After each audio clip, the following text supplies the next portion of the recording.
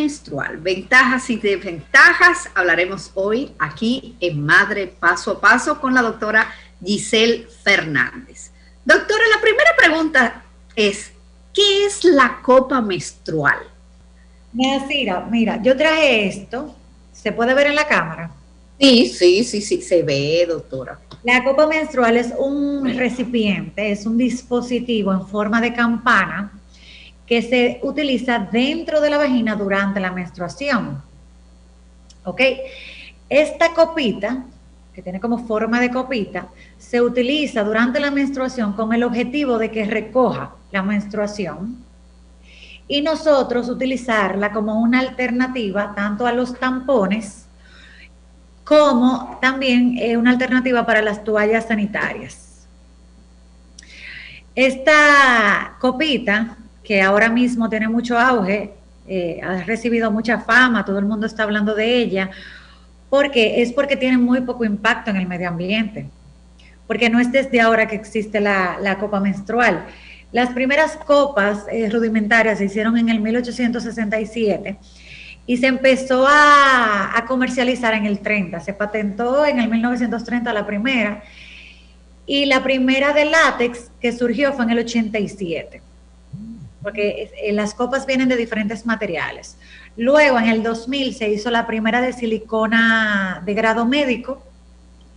Y al ver el, buen uso, si uno, se le da, si uno le da buen uso a esta copa, el gran impacto que tiene, al nosotros cuidar el medio ambiente fue que empezó a hacerse famosa la copa y que todo el mundo la quiera usar. Porque uno de los beneficios que tiene la copa es que con una sola copa tú te puedes quedar 10 años, porque es reutilizable. Entonces, si tú la sabes usar bien, la copa, si le das el correcto uso, si la esterilizas, tú con una sola copa, o sea, inviertas, haces una sola inversión y te quedas con ella durante 10 años. Porque si no la usas bien, con el cuidado también se dañan, se pueden dañar. Hablemos cómo se utiliza, cómo se introduce esta copa menstrual. Mira, lo primero es que hay que saber doblar la copa, ¿ok? La copa tiene varias partes y tiene como un bordecito grueso, que es lo que tú tienes que saber doblar para introducirla en la vagina. Hay tres formas de cómo introducirla. Primero en forma de C, Tú la doblas, la pones así.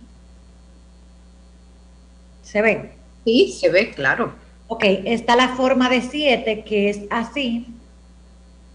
Y este bordecito entonces es el que tú vas a poner en los labios menores. Ok, no es necesario llevarla hasta allá. Yo más adelante lo voy a explicar.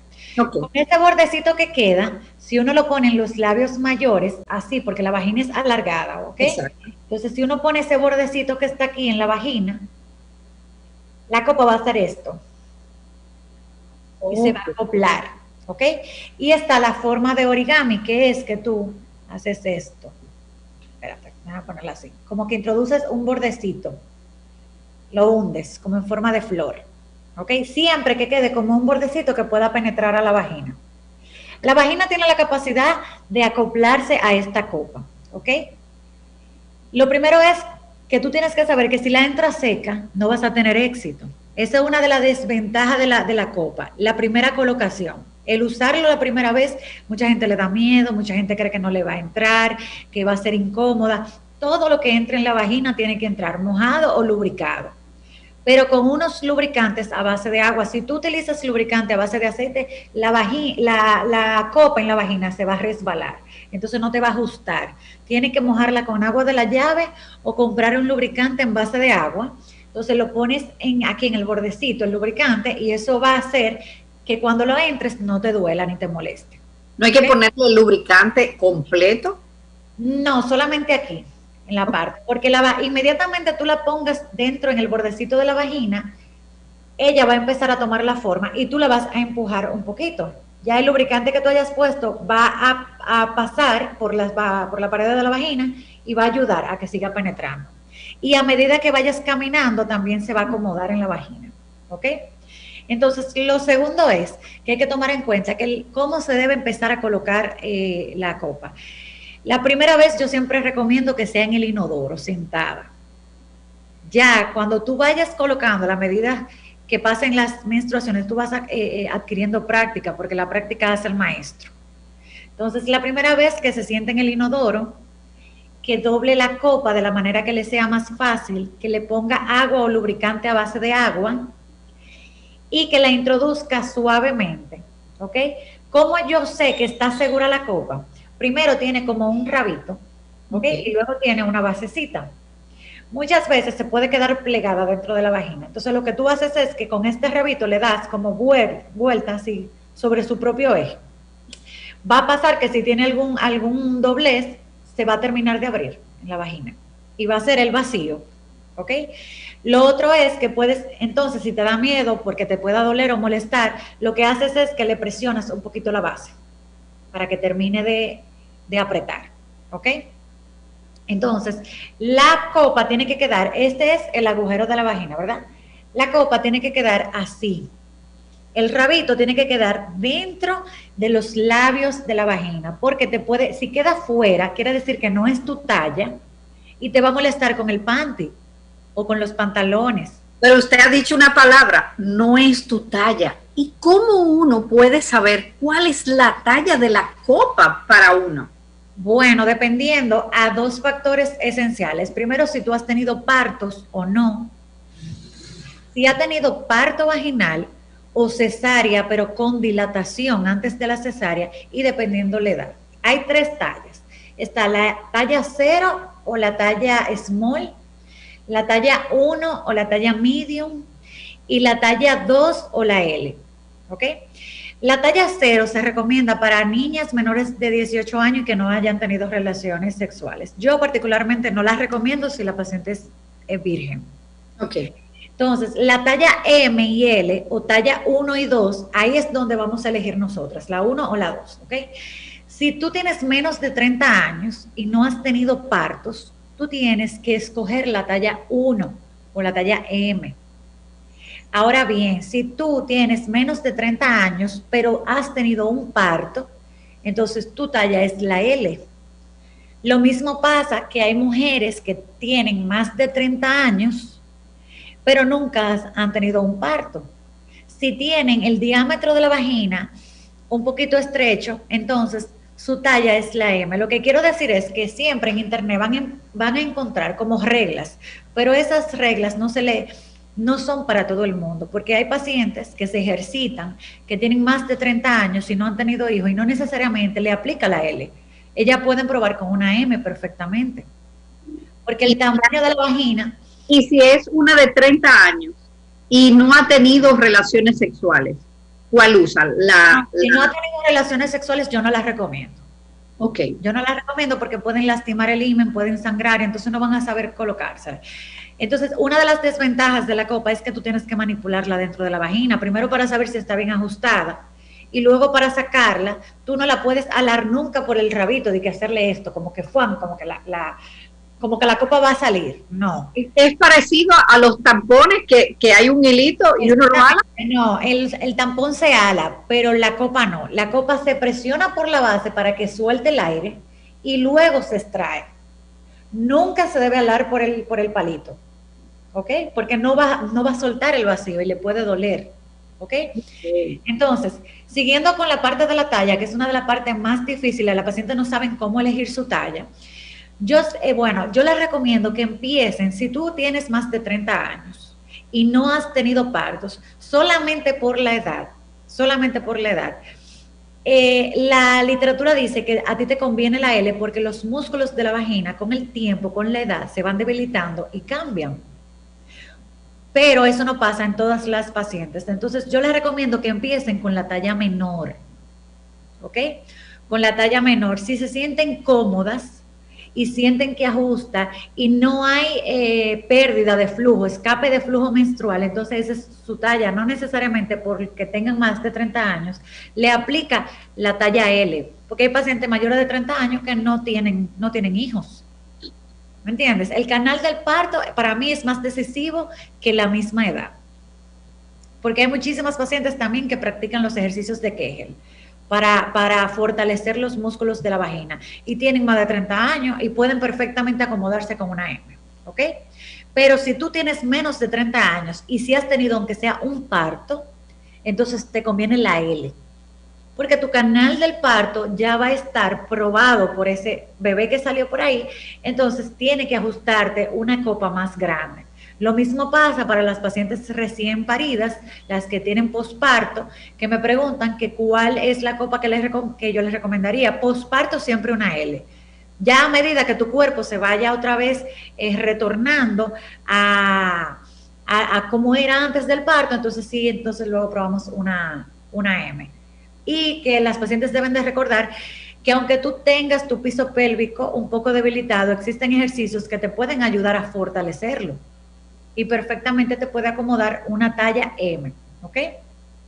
Entonces, otra de las cosas es que yo recomiendo cuando la van a usar por primera vez es que la utilicen sin la menstruación, ¿ok?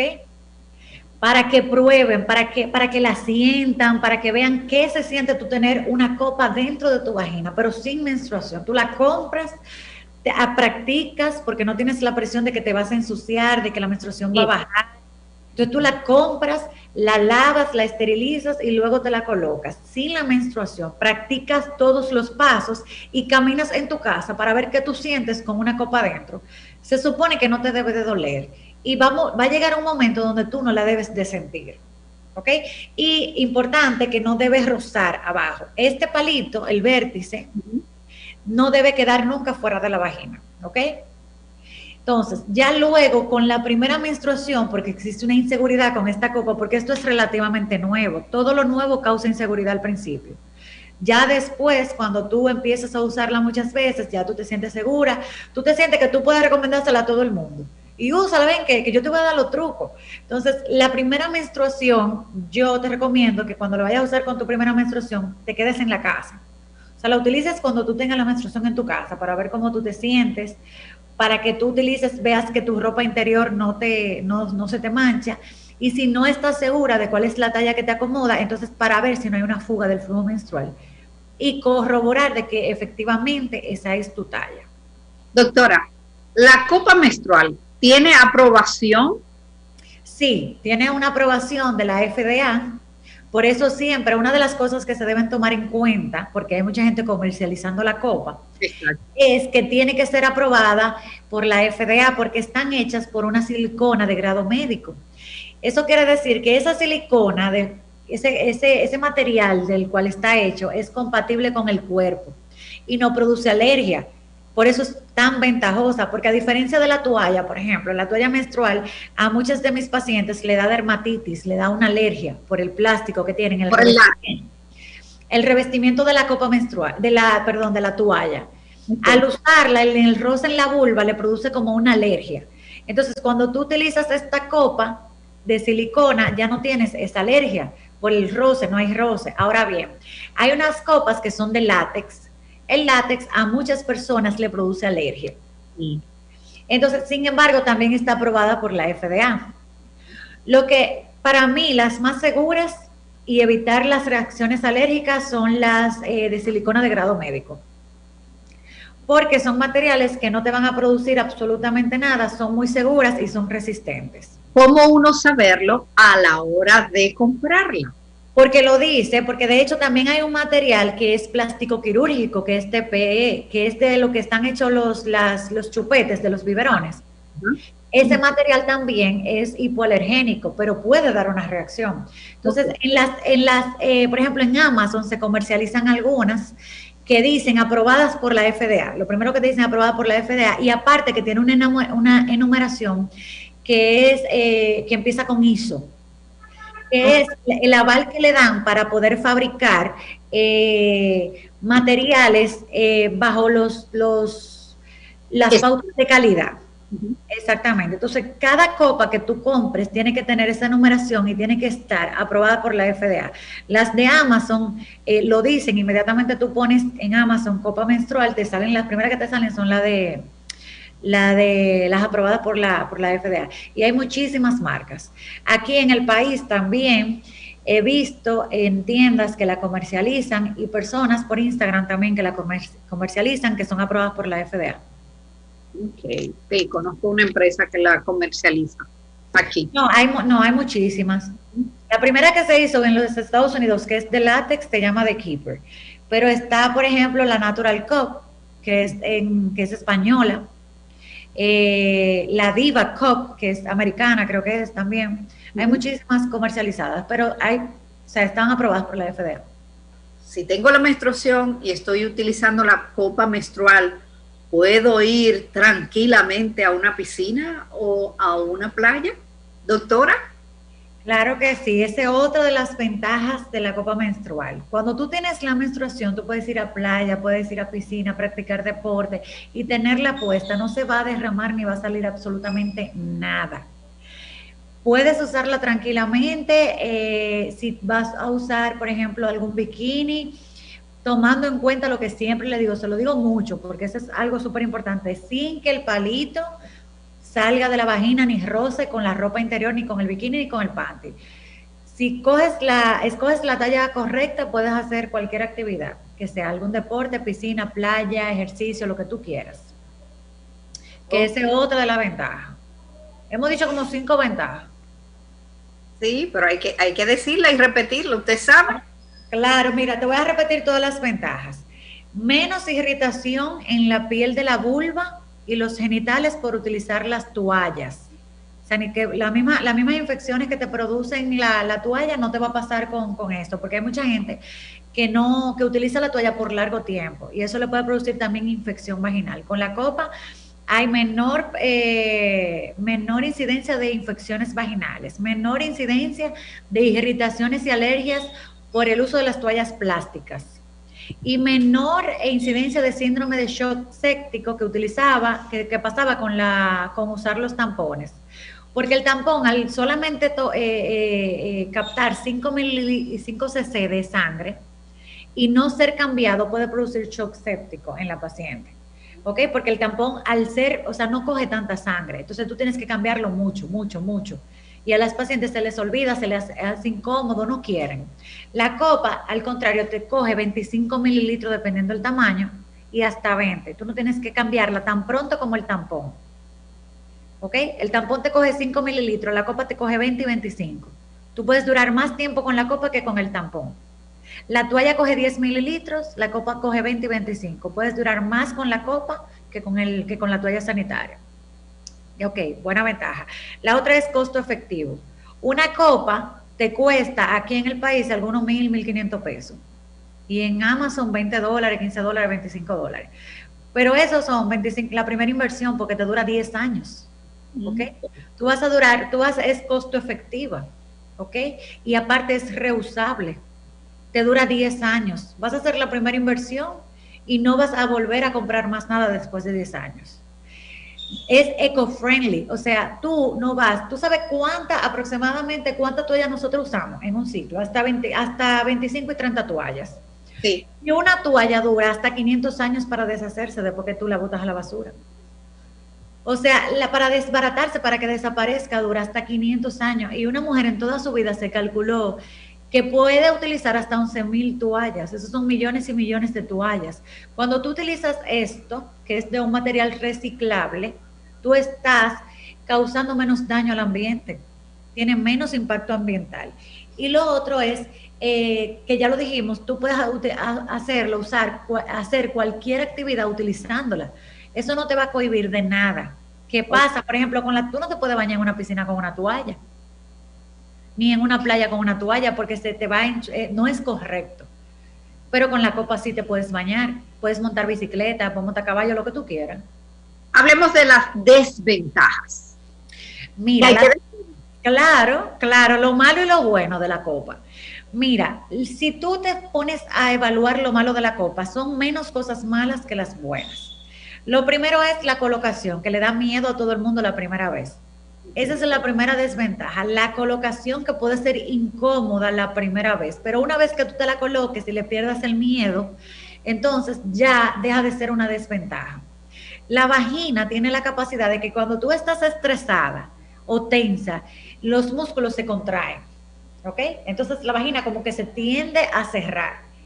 Eso pasa con todo, no solamente al introducir la copa Cuando nosotras las mujeres vamos a tener relaciones, si estamos tensas, no vamos a tener una relación sexual efectiva, porque la vagina tiene la capacidad de contraerse. Entonces tienes que estar relajada al momento de colocarla la primera vez y no tenerle miedo, ¿ok?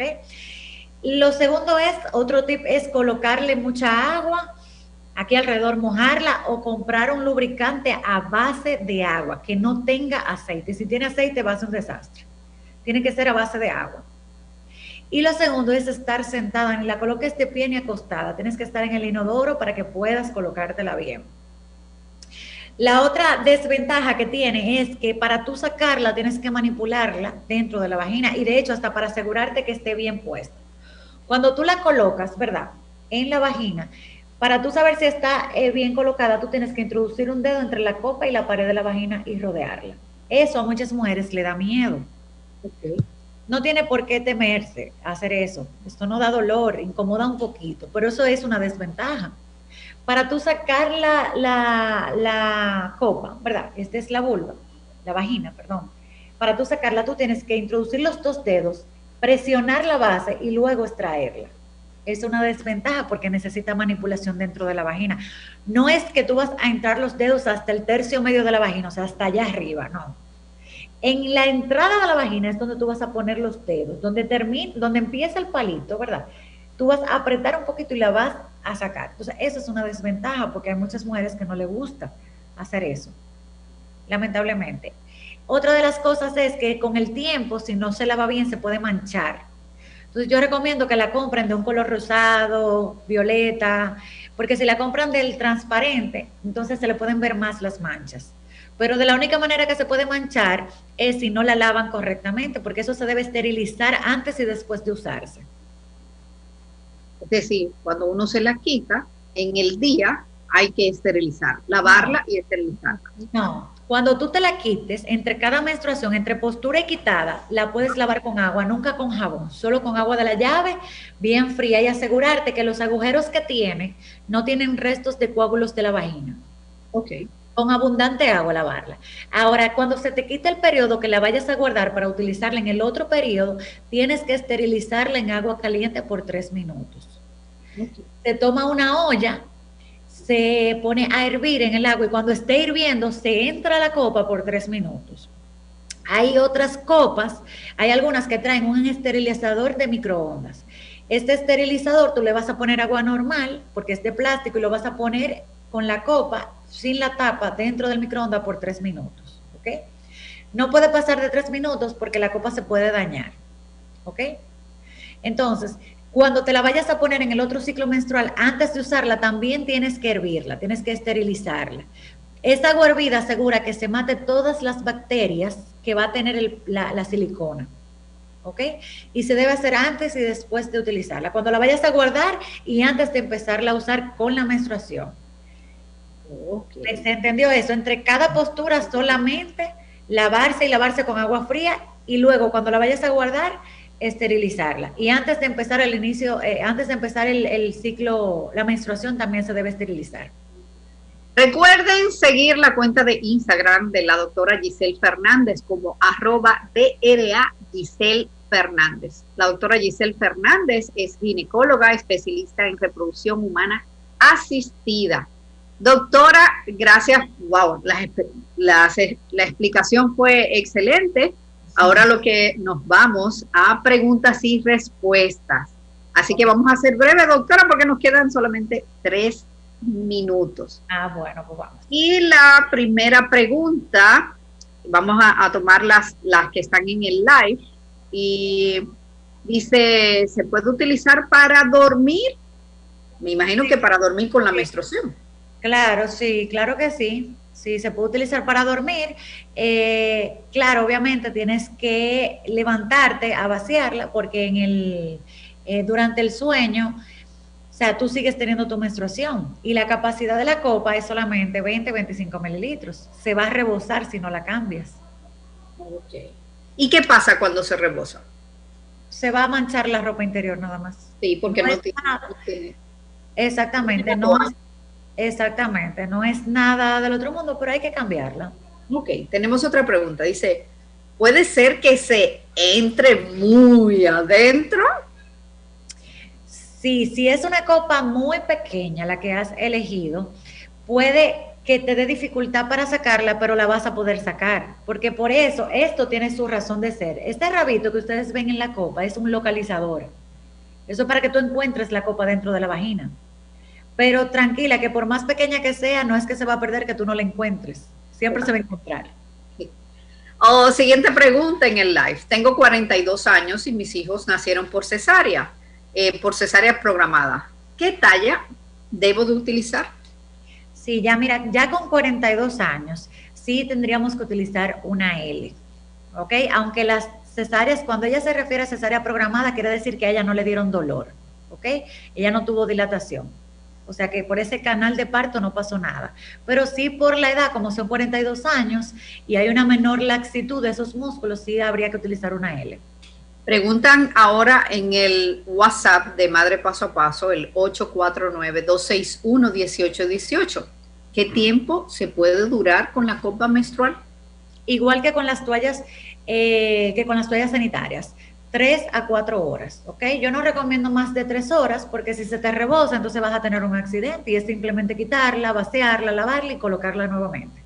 Pero perfectamente se puede utilizar con ella, durar tres horas. Obviamente, si tu flujo no es tanto, entonces cómodamente te puedes quedar cuatro horas con ella. Hacen una pregunta, usted sabe que hay de todo eh, en las preguntas, ¿verdad? Dice,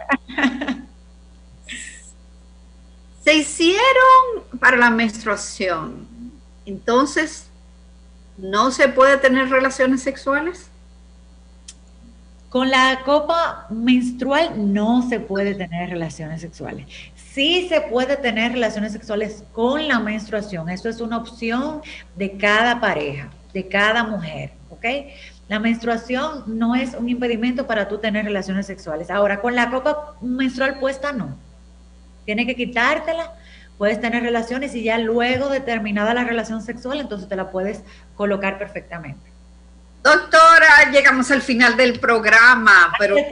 tenemos que, Nacira, tenemos que poner dos horas de programa, porque esto se va de una vez. Habla, habla ya, dos horas. Estaba muy bueno, estaba muy bueno, estaba muy bueno el tema, muy bueno. Y yo creo que después de esta explicación de usted, doctora, yo creo que ya muchas pacientes van a comenzar a utilizar la copa menstrual. Sí, es una buena opción, realmente es muy recomendable. Eh, lo mejor es que con esa simple acción tú estás ayudando al medio ambiente eh, y tú después que la gente la usa se enamora de la copa. al medio ambiente y también a uno mismo porque eh, todo es... claro. Y económicamente uno se ayuda también porque es una sola inversión. Exactamente. Doctora, muchísimas gracias. Día de consulta, número de teléfono para consulta con usted.